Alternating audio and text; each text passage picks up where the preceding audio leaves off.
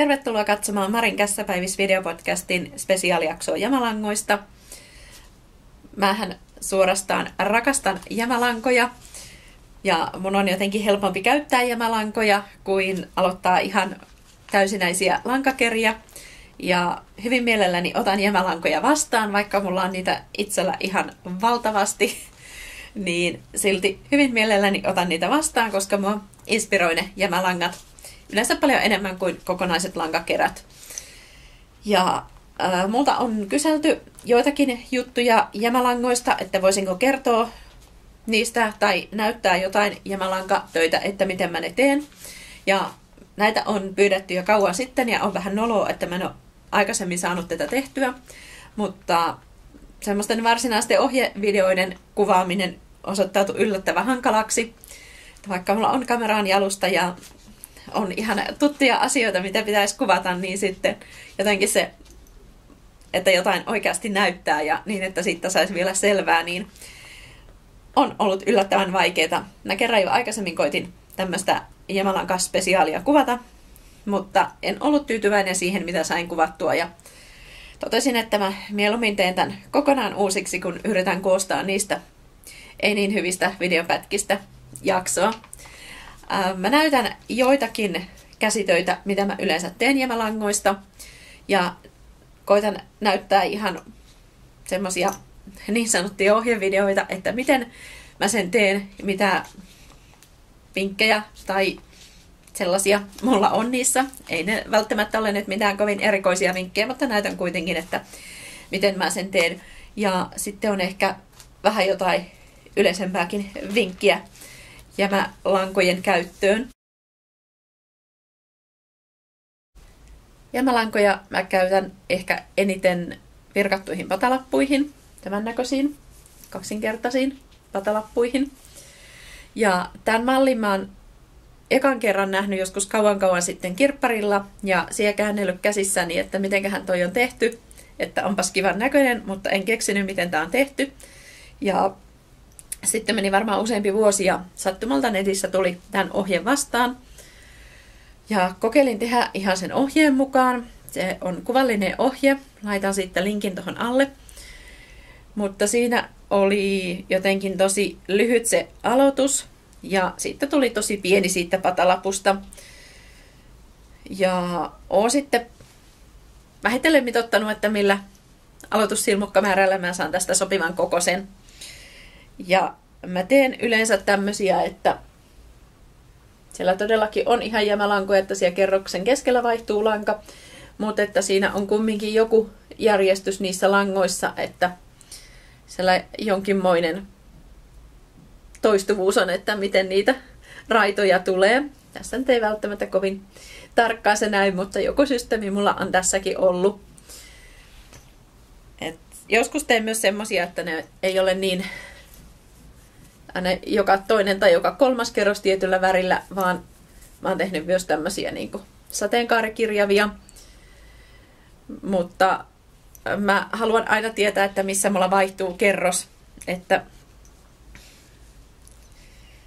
vaihdan sitä lankaa yleensä näissä siis, missä on tällainen raidottuvia, niin vaihdan aina tarkkaan samassa kohdassa lankaa. Ja näytän kohta sen, että miten se langanvaihdon, koska sitten se sauma jää tai se langanvaihtokohta, mikä näkyy vähän erilaisena, niin se jää näppärästi tuonne sivuun eikä erotu sieltä. Tuossa patalapussa on nyt, tuossa on se kerroksen vaihtumiskohta, mutta sitten kun tämä on taiteltu valmiiksi, niin se ei sieltä reunasta oikein mihinkä erotu.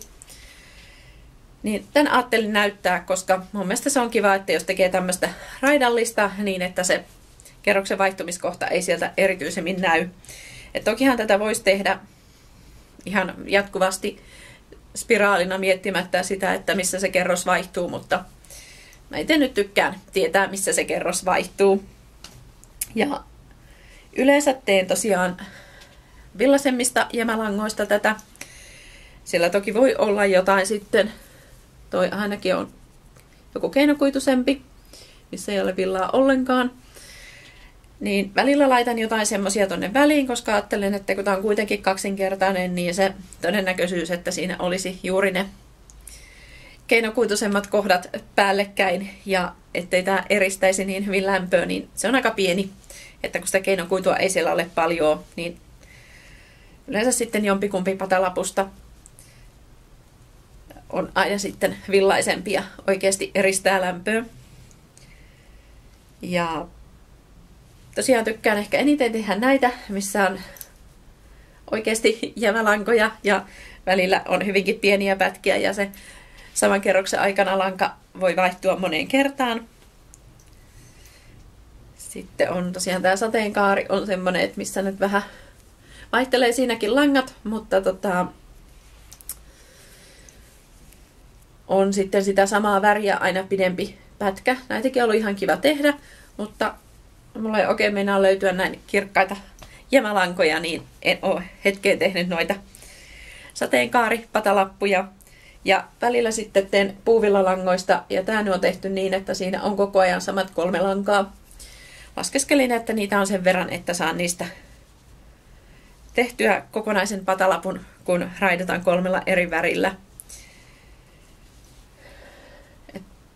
Tämä on tietysti vähän tämmöinen hillitympi, kun on koko ajan ne samat kolme lankaa käytössä, eikä vaihtele niin kuin tässä patalapussa. Ja ennen kuin mä näytän, miten mä oon tämän varsinaisesti tehnyt, niin näytän tästä valmiista, että se patalappu alkaa tosta. Siinä on nyt tämmönen leveämpi harmaa raita. Se aloitetaan siitä ja sitten taas toisella puolella toiseen suuntaan tulee toi sauma. Sen voisi ommella sen sauman, mutta kun mä en tykkää ommella, niin mä aina virkkaan sen viimeisen sauman kiinni. Ja lopuksi sitten virkkaan tänne tämän ripustuslenkin.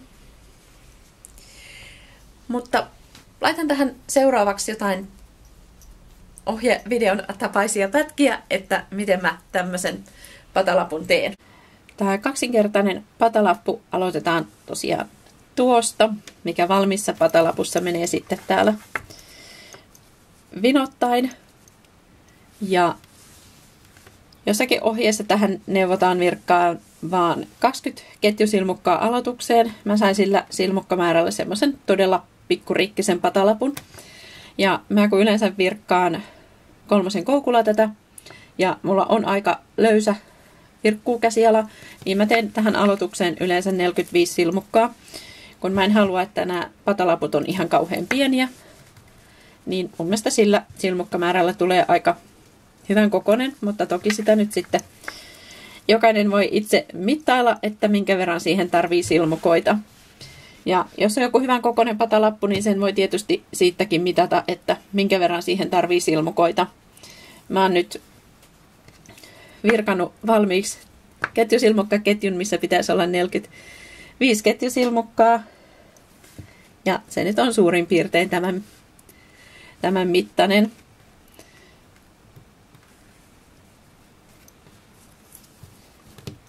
Mutta tosiaan tätä voi mittailla, että mikä on sopiva ää, silmukkamäärä tähän aloitusketjuun. Ja pikkasen se tästä vielä pitenee. Mä näytän kohta, miten tämä tästä alkaa, niin ää, ihan vähän se aloitus tästä pitenee, mutta aika lailla voi siis mitata sen, että paljonko haluaa sen valmiin patalapun ton kulmasta kulmaan olevan mitan olevan, niin sen verran tekee ketjusilmukoita. Ja nyt kun mulla on ne 45 ketjusilmukkaa tehtynä, niin sitten virkkaan yhden ketjusilmukan vielä käännöstä varten. Ja sitten laitan tuohon toinen ketjusilmukka koukusta laskien, niin siihen teen kiinteän silmukan ja vaan tonne ketjusilmukan toiseen reunaan. Yleensä mä merkkaan tässä aloittaessa, että missä mulla on ensimmäinen kiinteä silmukka, eli laittaisin tuohon sen eh, siirreltävän silmukkamerkin, mutta nyt mulla ei ole sitä mukana, niin nyt koitan vaan muistaa, että se on siinä se aloitus, mutta se on helpompi. Ei tarvi ihan niin paljon laskea ja miettiä, että missä se aloitus on, kun se merkkaa. Ja sitten tehtäisiin tämän ketjusilmukka ketjun toiseen reunaan. Jokaisen ketjusilmukkaan kiinteä silmukka. Näytän muutaman ja sitten mä pätkäsen hetkeksi tämän. Mä näytän, näkyisikö se tossa.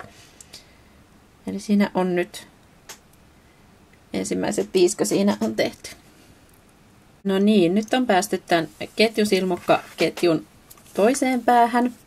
Eli mä oon virkannut sinne 45 kiinteätä silmukkaa ja ollaan täällä ihan ketjusilmukka-ketjun kärjessä.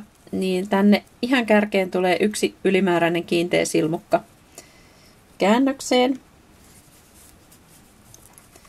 Eli nyt on 46 kiinteätä silmukkaa virkattu. Ja sitten lähdetään virkkaan tämän ketjusilmukka-ketjun toiseen laitaan. Samalla lailla 45 kiinteätä silmukkaa. Eli se ensimmäinen tulee tähän samaan ketjusilmukkaan, mihin tuli se käännöksen ylimääräinen kiinteä silmukka. Ja tästä sitten taas lähdetään laskemaan 45 kiinteätä silmukkaa. Toinen. Kolmas.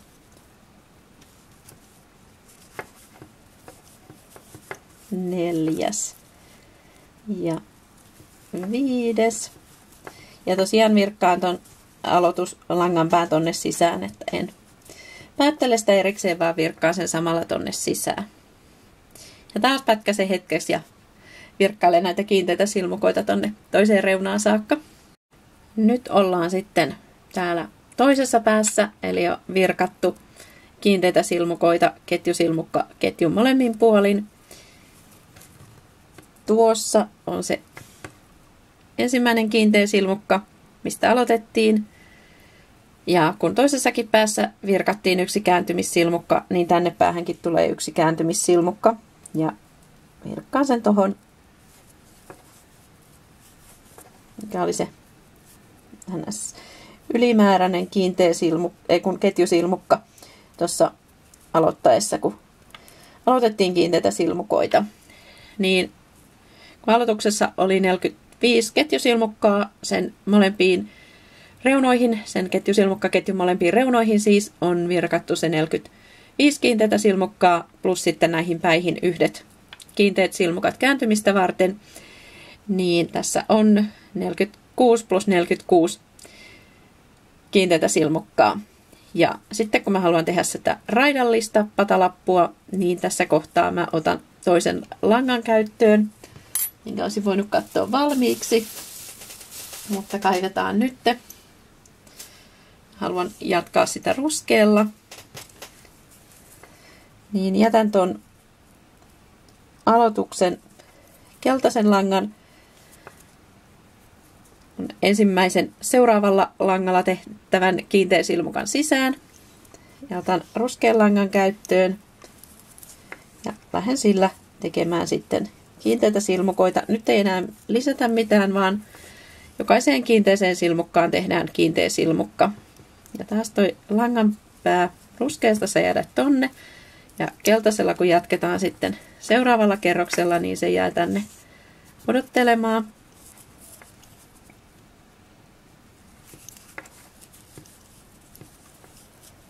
Virkkaan sen verran, että menee toi langanpää piiloon, niin sitten näytän tota, miltä se kerroksen vaihtumiskohta näyttää.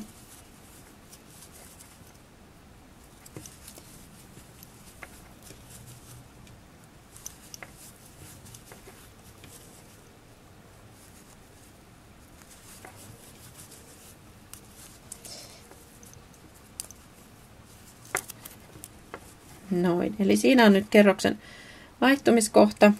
Se ei meinaakaan tarkentaa kovin hyvin siihen.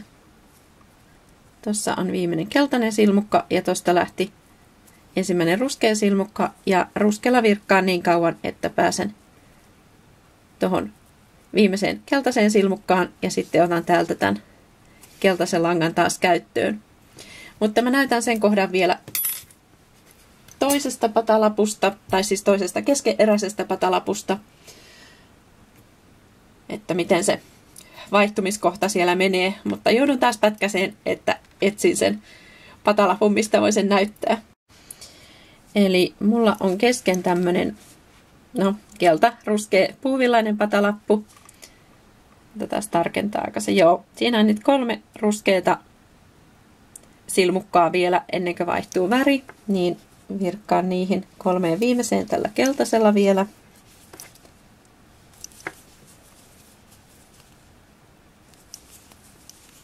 Noin. Ja sitten kun ei enää näy ruskeita kiinteitä silmukoita edelliseltä kerrokselta, niin vaihdetaan takaisin siihen ruskeeseen. Ja taas jätän ensimmäisen ruskeen kiinteän silmukan sisään tämän keltaisen langan, että se on siellä valmiina, kun seuraava kerros alkaa. Ja sitten jatkan virkkaamista tällä ruskealla langalla.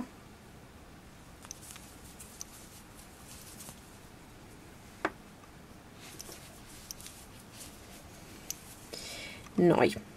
Eli tuossa näkyy nyt se, missä kerros vaihtuu. Mutta sitten tosiaan, kun tämä taittuu näin, tämä valmis patalappu, niin se vaihtumiskohta jää nätisti tonne reunaan piiloon. Sitten voisin näyttää vielä sen, että kun lanka loppuu kesken kerroksen, niin senkin jatkan vaan sillä, että virkkaan sen uuden langan pään sinne. Tai siis virkkaan langan päät sen uuden langan sisään. Tällä vanhalla voisi nyt tehdä vielä yhden silmukan. Siinä on nyt tuommoinen joku 5-6 sentin langan pää. Sitten otan vaan sen uuden langan mukaan.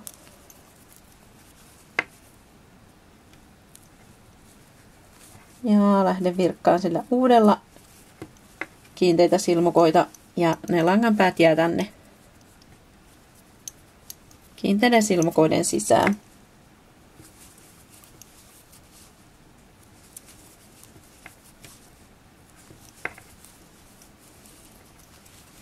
Noin.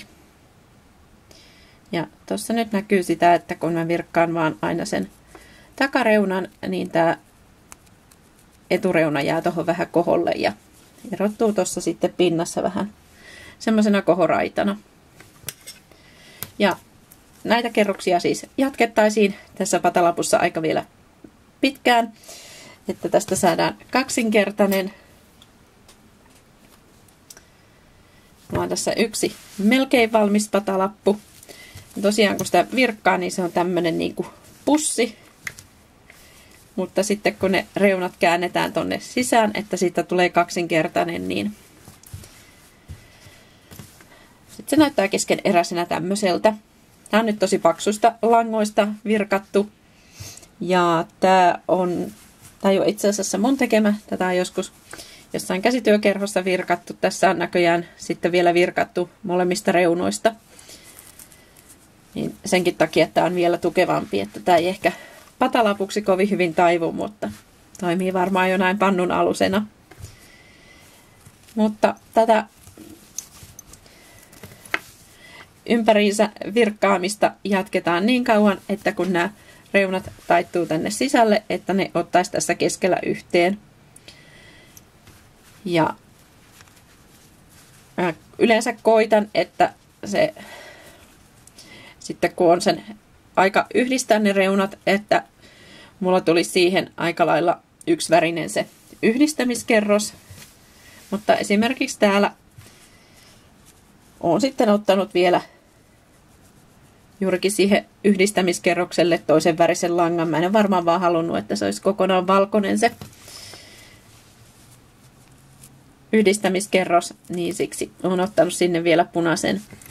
Ja tämän sauman tosiaan voisi ommella kiinni, mutta mä tykkään virkata sen kiinni.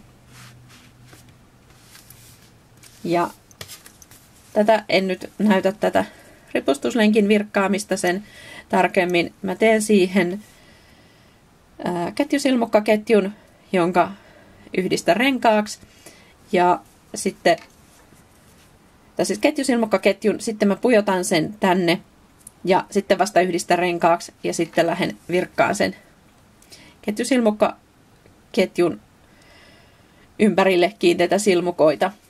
On aloitettu varmaankin tuosta reunasta ja niin, että se on ihan täynnä niitä kiinteitä silmukoita ja lopetettu tonne.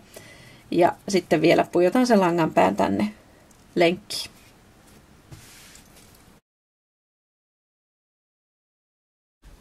Sellaisia jämälankoja, jotka ei ehkä niin hyvin sovi patalappuihin, niin mä virkkaan peittotilkuiksi. Mulla on nyt tässä yksi pitkään kesken ollut peittotilkku ja Tämä on varmaan aloitettu vähän paksummalla langalla kuin miten tämä on jatkunut, että tämä ei ihan kauhean suora ja sileä ole, mutta tämmöinen. Ja näitä sitten yleensä teen sillä että mä koitan monesti tehdä melko yksivärisiä näistä, tai että siinä olisi jotenkin hyvinkin niitä samoja sävyjä kaikissa langoissa. Tämä nyt on tämmöinen selkeästi raidallinen Tämä aloittanut tosiaan joskus kauan sitten, tämä on ollut pitkään kesken. Siinä se mm, yksivärinen vaaleanpunainen on ihan villalankaa ja sitten ne kirjavat on, osa on kyllä, toi varmaan nallee, mutta sitten siellä on, mitä tällä hetkellä on virkkaamassa, niin se on ihan keinokuitulankaa. Mutta ajattelen, että kun siinä on osa kumminkin jotain villalankaa, niin sitten ne keinokuitulangatkin menee siellä sijassa, että se valmis peitto kuitenkin lämmittää, vaikka siellä on niitä keinokuittusempia lankoja mukana. Ja mä virkkailen näitä peittotilkkuja sitä mukaan, kun on sopivan värisiä lankoja. Mulla on yleensä varmaan parikymmentä ainakin peittotilkkua kesken. Tällä hetkellä on varmasti enemmänkin.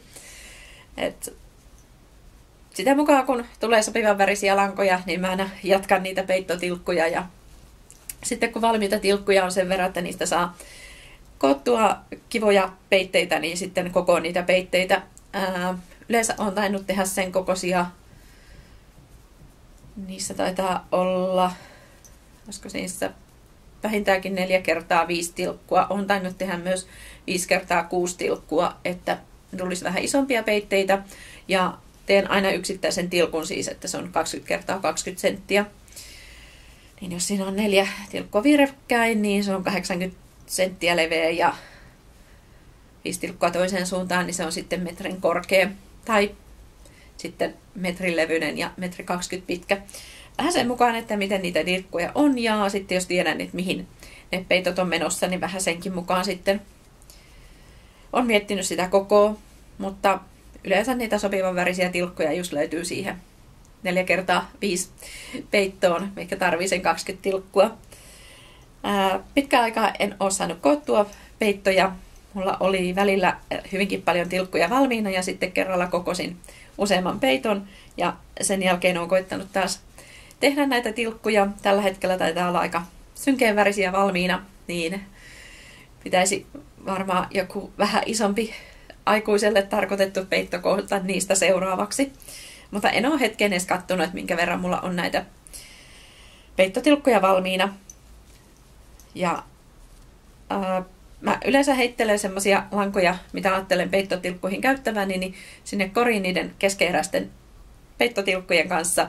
Ja sitten aina välillä, kun on tarpeeksi kirkasta päivänvaloa, niin käyn ne jämälangat läpi ja yhdistelen niihin keskeeräisiin peittotilkkuihin, että mitä tilkkua jatkan milläkin jämälangalla.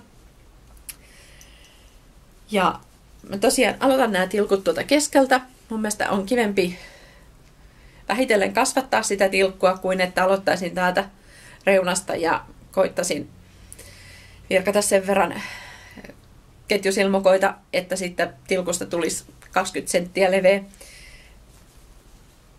Mä on vähän huono aloittaa sillä lailla, koska mun mielestä on kamala hankala määritellä, että saisin sitten just oikein kokoisen, niin siksi mä tykkään aloittaa täältä keskeltä ja kasvattaa sitä tilkkua sitten vähitellen, kun sopivia lankoja tulee. Ja mm, näytän vähän sitäkin kohta, miten mä sen tilkun aloitan ja miten mä lankoja siinä yhdistelen. Siinäkin on varmasti ihan hyviä ohjevideoita muuallakin, mutta mä en tiedä, onko nyt ihan samanlaista tapaa. Mä oon sitä vähitellen miettinyt, että miten se kannattaa tehdä. Ja se ei ehkä ole ihan se, mitä jossain muissa ohjeissa, miten se aloitus neuvotaan tekemään, niin ajattelin, että näytän semmosenkin. Niin siitä tulee tähän seuraavaksi vähän ohjevideopätkää, että miten näitä peittotilkkuja teen. Näiden peittotilkkujen virkkaamisen aloitan tosiaan täältä keskeltä. Tuolta. Ja sitten jatkan, tuossa nyt näkyykin, kun virkkaan aina sen edellisen kerroksen kiinteän silmukan takareunaan, niin näkyy vähän tuommoisena spiraalimaisena, miten se lähtee siitä kasvaan.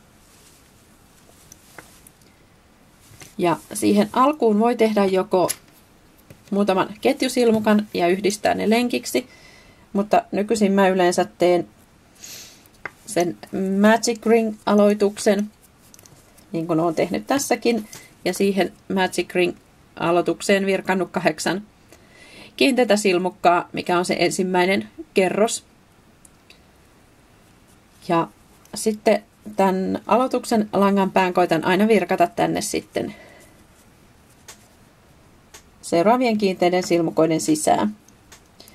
Ja yleensä ohjeessa kai sanotaan, että tässä kohtaa pitäisi kiinnittää tuohon piilosilmukalla tuohon ensimmäiseen silmukkaan, mutta mä en yleensä tee siihen piilosilmukoita, vaan lähden suoraan tekemään kiinteitä silmukoita. Ja tässä kun on kahdeksan kiinteitä silmukkaa nyt tuossa aloituksessa, niin että tästä saisi neljän muodostuu, niin joka toiseen tulee kolme kiinteitä silmukkaa, joka toiseen vain yksi kiinteä silmukka. Ja tehdään tähän ensimmäiseen nyt ne kolme kiinteitä. Vielä yksi. Eli tämä olisi nyt se tilkun ensimmäinen kulma. Seuraavaan yksi kiinteä silmukka. Sitten taas kolme kiinteitä silmukkaa.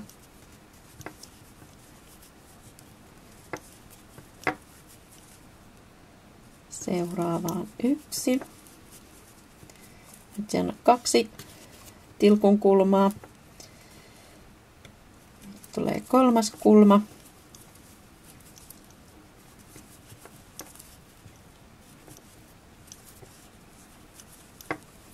Noin. Sitten taas yksi.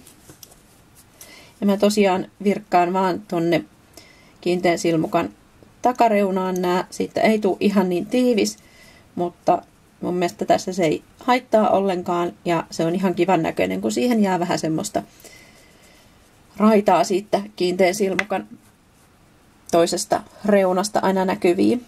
Ja nyt olisi siis viimeinen kulma. Neljäs kulma, mikä tulee kolme kiinteätä silmukkaa. Ja nyt ollaan siellä, mistä on aloitettu. Ja ollaan vähän niin kuin kerroksen keskellä.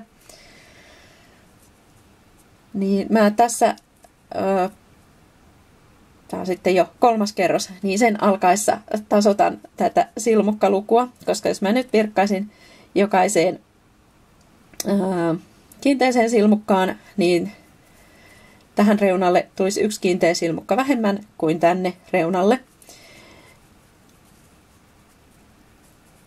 Eli kun kulmissa on aina kolme kiinteätä silmukkaa, ekalla kerroksella niiden välissä oli yksi, niin tämä on nyt tässä kerroksen vaihtumiskohta ja kolmannella kerroksella siinä pitäisi olla sitten jo kolme kiinteätä silmukkaa näiden kulmien välissä. Niin mä yleensä vaan tuohon ensimmäiseen virkkaan kaksi. Sitten tulee se kolmas. Ja sitten ollaankin taas ensimmäisessä kulmassa. Johon tulee taas se kolme kiinteitä silmukkaa. Ja sitten tähän jää kolme kiinteitä silmukkaa väliin ennen kuin tulee seuraava kulma. Niin tosiaan tuossa kun toinen kerros vaihtuu kolmanteen, niin siinä mä tein yleensä yhden ylimääräisen kiinteän silmukan, että saan tasotettua sen silmukkamäärän ja sen jälkeen tätä voi koko ajan virkata spiraalina. Ei tarvi miettiä enää kerroksen vaihtumiskohtaa.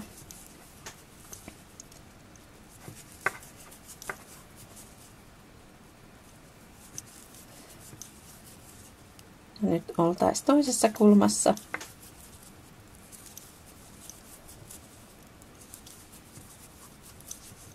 Ja siinä olisi taas sitten kolme kiinteitä silmukkaa ennen kuin ollaan tuolla kolmannessa kulmassa, mikä tulisi taas se kolme kiinteitä silmukkaa.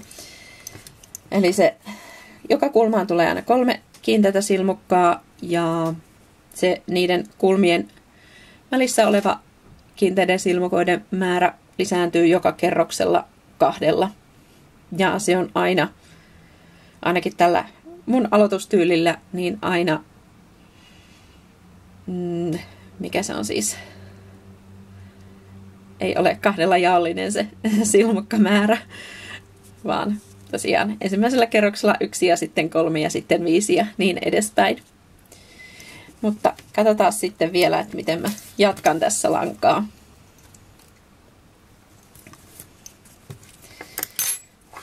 Tässä on nyt tämmöinen turkoosi tilkun aloitus. Ja välillä, jos mulla on pitkään ollut tilkku kesken, niin kuin tämä pikkurikkinen aloitus oli ollut, niin eilen kun virkkasin tätä vähän lisää ja tämän ensimmäisen langan loppuun, niin samalla sitten tarkistin, että mulla on näissä väleissä aina saman verran kiinteitä silmukoita. Ei se nyt kauheata merkitystä ole, jos niitä on jossain yksi kiinteä silmukka vähemmän, mutta mä nyt aina välillä tykkään tarkistaa, että niitä on joka välissä saman verran. Ja mä en mitenkään päättele näitä langanpäitä tässä. Koitan jättää sinne aika pitkän langanpään, kun otan seuraavan langan mukaan. Ja mä vaan virkkaan sen langanpään, tai oikeastaan molemmat langanpäät tänne sisään. Eli nyt on tää vaaleampi turkoosi lanka loppu, niin otan tämmöisen vähän pörrösemmän langan mukaan. Pistän senkin langanpään tonne menen ketjusilmukoiden sisään. Ja jatkan tällä virkkaamista tällä uudella langalla.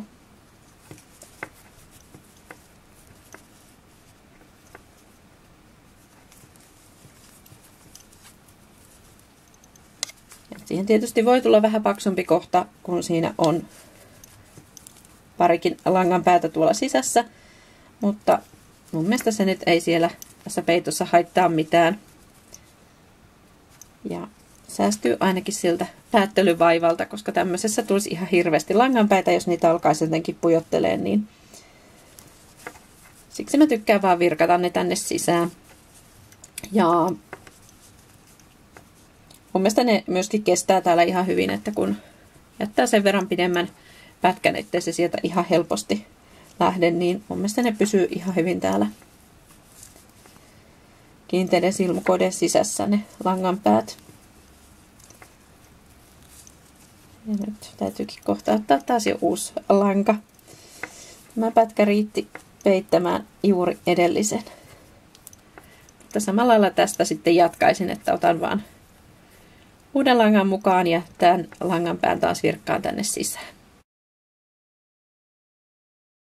Sitten vielä vähän lankojen yhdistämisestä, koska jämälankatöissä niitä langanpäitä helposti tulee paljonkin ja jos ne kaikki säästää sinne loppuun niiden päättelyn, niin siinä on aika iso homma ja mä en ainakaan saa pääteltyä niitä lankoja suurin piirtein ikinä, jos en niitä päättele jo siinä sitä käsityötä tehdessäni. Että jos mulla olisi jossain jämälankasukissa lopuksi vaikka 20 langan päätä pääteltävänä, niin niiden sukkien valmistuminen kestäisi todella kauan. Niin mä koitan aina niitä langanpäitä päätellä tai lankoja yhdistellä jotenkin näppärästi jo siinä käsityötä tehdessäni. Ää, joskus kun pitää yhdistää puuvillalankoja, niin siinä mä oon käyttänyt sitä Magic Knot, eli taikasolmua. Sitten en nyt kuvaa video, koska just tarkistin itse yhdeltä videolta, että miten se taikasolmu tehtiinkään, niin laitan siitä linkin tähän alle siitä videosta, koska siinä se oli mun mielestä tosi hyvin näytetty. Se on englanniksi se video, mutta niin selkeä ja hyvin kuvattu, että siitä se näkyy ihan hyvin. Ajattelin, että mä en itse osaa sen parempaa videoa ainakaan tehdä. Ja sitä mä oon jonkun verran käyttänyt tosiaan sitä taikasolmua puuvillalankojen yhdistämisessä, ainakin kun oon tehnyt tiskirättejä, mihin oon ihan pienistä puuvillalankapätkistä neulonut, niin siinä on sitä käyttänyt. Sen pitäisi olla tosiaan ihan kestävä, mutta mua aina vähän jännittää, että kestääkö se silti. En ole ainakaan kuullut, että ne olisi solmun kohdalta hajonnut ne tiskirätit, missä sitä taikasolmua on käyttänyt, mutta aina mua tehdessä vähän jännittää, että kestääkö se oikeasti. Ja sitten se ei tietysti ihan kaikkialle sovi, koska siihen nyt kumminkin tulee solmu, mikä sitten voisi jossain tällä päälle tulevassa neuleissa tuntuakin, että siellä on se solmukohta. Ja sitten on miettinyt, että kestääkö se nyt vaikka jossain sukissa. Että jos siellä on ihan se solmu ja ne on katkaistu ne langanpäät siitä ihan solmun vierestä, että kestääkö se solmu siellä oikeasti. Ää, tästä puhuu muuten Let's Make This a Good Day podcastin Henna, joka oli käyttänyt sitä Magic Knot, tai siis taikasolmua, tekemissään sukissa, niin hän kanssa mietti, että miten se siellä sukissa sitten toimii ja tuntuuko se siellä sukassa, että jos se solmu osuukin vaikka johonkin jalan alle, että tuntuuko se siellä. Mulla ei ole siitä käyttökokemuksia, että jos teillä on, niin kertokaa, miten on Magic Knot tai taikasolmu kestänyt käytössä ja tuntuuko se sieltä. Mä oon tosiaan käyttänyt sitä vaan semmoisissa tiskiräteissä ja en välttämättä ole katkaissut sitä lankaa solmun vierestä, vaan neulonut sen langan sinne, tai ne langan päät aina sinne mukaan, ja sitten ehkä katkaisu vasta sen pikkuriikkisen langan pään, mikä on sieltä neuleen seasta pilkistänyt esiin. Mutta sitten vaikka niissä Jamalankasukissa, niin mä käytän ää, sellaista kuin Russian Joining eli siis venäläinen yhdistäminen. En ole ihan varma, onko se se suomeksi. Mä en ole tainnut missään nähdä sitä varsinaista suomennosta sille, mutta siis luulisin, että se on nimeltänsä venäläinen yhdistäminen. Ää, aikaisemmin mä monesti vaan pujottelin ne langanpäät toistensa sisään, tai siis pujotin sen toisen langanpään sen seuraavan langanpään sisään. Ja sekin on ihan hyvin toiminut. Aikaisemmin käytin sitä noissa patalapuissa, niissäkin, ja sitten ihan sukissa. Mutta siinä toki ne, jos ne on vaikka eri väriset langat, niin ne vähän sekoittuu ne värit siinä. Ja sitten kuitenkin aina ne langan päät sieltä vähän nousi esiin. Et se ei se kaikista siistein mahdollinen ollut. Niin nyt on sitten opetellut varsinkin niissä sukissa käyttää sitä reson joining tapaa, koska siitä tulee mun mielestä siisti ja sitten kun teen sen siinä heti sukkaa neuloissa tai mitä nyt neulonkaan, niin se ei siinä tunnu niin isolta hommalta kuin että sen tekisi sitten sen lankojen päättelyn jälkeenpäin, kun vaikka se sukka on jo muuten valmis. Ja jos teen, ää, tiedän, että mulla on useampi jämälanka, mitkä mä haluan vaan peräkkäin, niin mä monesti sitten yhdistelen niitä valmiiksi useamman jämälänkapätkän, että mä sitten vaan saan neuloa niitä, enkä enää siinä pysähdy yhdistelemään niitä. Mutta siitäkin teen nyt pikkusen videopätkän. Varmasti löytyisi YouTube-videoita tästä vaikka kuinka paljon, mutta ajattelin nyt kuvata tähänkin sen, että kai mä teen sen samalla lailla kuin kaikki muutkin, mutta ajattelin silti kuvata pienen videopätkän, että miten mä yhdistän langanpäät yleensä pillasukissa ja muissa semmosissa. jämälankatöissä. Näytän nyt, miten se Russian joining, eli ehkäpä suomeksi venäläinen yhdistäminen tehdään. Ja lankojen lisäksi tarvitaan siis neula. Mulla on aika iso neula, koska mielestäni näitä villasekotelankoja on helpompi tällä isolla ja terävällä neulalla yhdistellä. Eli ensin se neulan kärki työnnetään tonne toisen langan sisään. Ja siihen langan päähän saa jäädä no, sen verran, kun ajattelee, että haluan sitä lankaa tonne sisään pujottaa, niin sen verran saa jäädä tähän. Ja sitten toinen lanka pistetään niin, että tähän jää tämä tällä hetkellä nyt turkoosilanka pujotetaan tuonne itsensä sisään, että toi punainen jää siihen turkoosista langasta syntyvän lenkin sisään.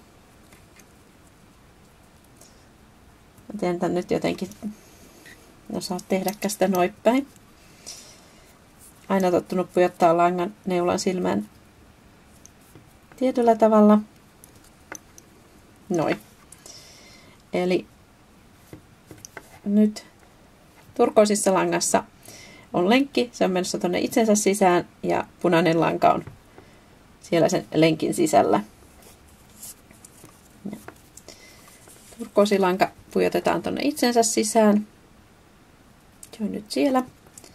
Ja sitten tämä punainen lanka on tuolla lenkin sisällä. Ja nyt tämä pää sitten pujotetaan tuonne punaisen langan sisään. Ja tässä kohtaa sitä voi tosiaan vielä säätää, että minkä verran sitä haluaa pujottaa. Sitten taas lankat on ihan ton turkoosin langan lenkin viereen, ei kun siis neula. Neula ihan turkoosin langan lenkin viereen ja sen verran sitten pujotellaan sitä neulaa tänne langan sisään, että se varmasti menee se koko langan pää sinne piiloon. Sitten taas pujotetaan punainen lanka neulan silmään ja vedetään tonne sisään. Ja sitten sitä voi tasotella vähän, että ne menee nätisti sinne. Siinä on nyt yhdistettynä kaksi lankaa.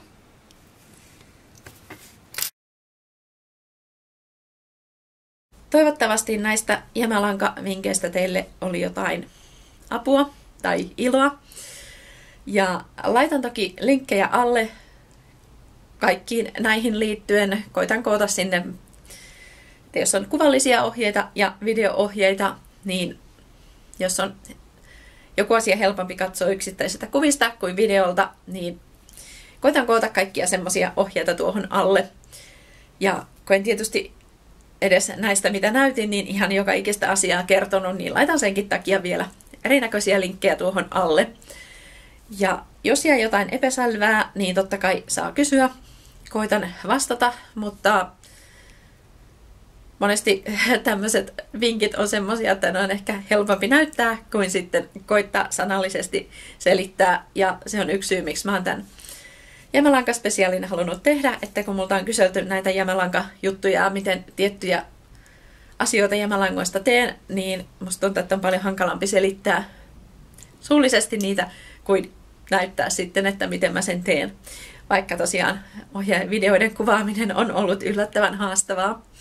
Ja jos teillä on jotain hyviä jämälankavinkkejä tai teette jonkun asian ihan eri lailla kuin mä teen, niin niistä olisi tosi kiva kuulla. Ja jos on sitten jotain jämälankoihin liittyvää, mistä haluaisitte mun puhuvan, niin kertokaa sekin. Koska mielelläni mä puhun jämälangoista, koska mä niin paljon tykkään niitä käyttää. Mutta tosiaan videon alle voi kommentoida. Monessa muussakin paikassa voi kommentoida. Kaikkiin löytyy toivottavasti linkit tuosta alta. Ja jos tulee paljon ideoita, mistä haluaisitte vielä jämälankoihin liittyen tietää, miten mä sen teen, niin mä voisin kuvata toisenkin tämmöisen jämälanka-spesiaalin, koska tätä oli kumminkin aika hauska tehdä.